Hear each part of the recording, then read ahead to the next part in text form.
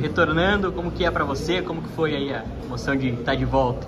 Ah, muito importante. Eu acho que, que todo atleta quer estar dentro de campo, quer poder é, estar ajudando. E hoje eu pude mais uma vez é, entrar e, e, ajudar o grupo. Agradecer a confiança da comissão técnica e, do, e dos atletas que, que me deram nesse retorno. A vitória é importante, né? Uma vitória com propriedade, de virada uma vitória muito importante hoje em Caxias, né? Não, sem dúvida. O jogo, é, apesar do placar, não foi um jogo fácil. Né? A gente teve os momentos ali que a gente sofreu bastante. Mas uma vitória para nos dar mais confiança ainda para continuar trabalhando em busca dos nossos objetivos.